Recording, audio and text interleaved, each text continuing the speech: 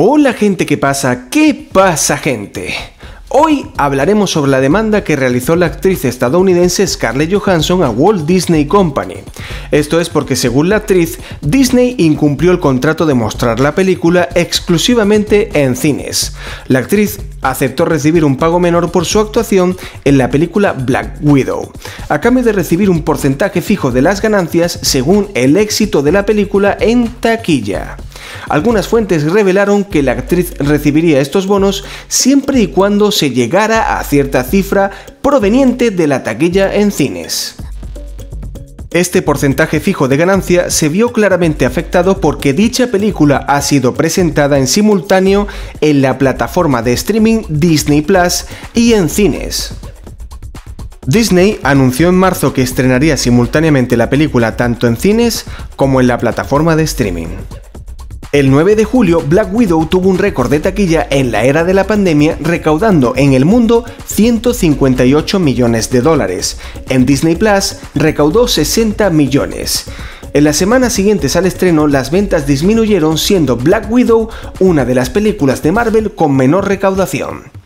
Miles de fanáticos que esperaban ver la película en los cines optaron por ver Black Widow en Disney Plus.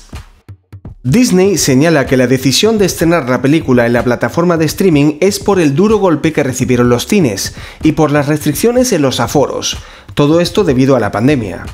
The Wall Street Journal dio la noticia sobre esta demanda y asegura que fuentes cercanas calculan que la actriz estaría teniendo una pérdida aproximada de 50 millones de dólares. Disney declaró que la demanda de Johansson fue especialmente triste y perturbadora, debido a su insensible desprecio por los horribles y prolongados efectos globales de la pandemia. El abogado de Disney, Daniel Petrocelli, en un tono mordaz, asegura que la demanda de Scarlett Johansson es una campaña orquestada de relaciones públicas, es decir, una maniobra publicitaria para lograr algo que no se puede obtener por medio de la demanda y resalta que nada puede oscurecer los compromisos contractuales afirmando que el contrato está claro como el agua. El abogado también asegura que según el contrato deben ir a un arbitraje en lugar de ir a los tribunales. El abogado de Disney, Daniel Petrocelli, dijo lo siguiente. Tratamos a Disney Premier Access como una taquilla a los efectos de los requisitos de bonificación en el contrato. Eso solo mejoró la economía para la señora Johansson.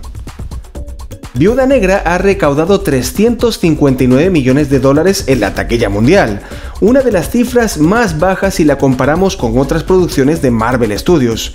La plataforma de streaming Disney Plus ha puesto a disposición de sus suscriptores la película por medio de un acceso premium, es decir, que deben pagar un extra para acceder al film. También hay una disputa porque Scarlett Johansson hizo la demanda contra Disney y el contrato es con Marvel. Los abogados de la actriz respondieron a la primera respuesta pública de Disney alegando que la declaración de la compañía ha sido un ataque personal misógino.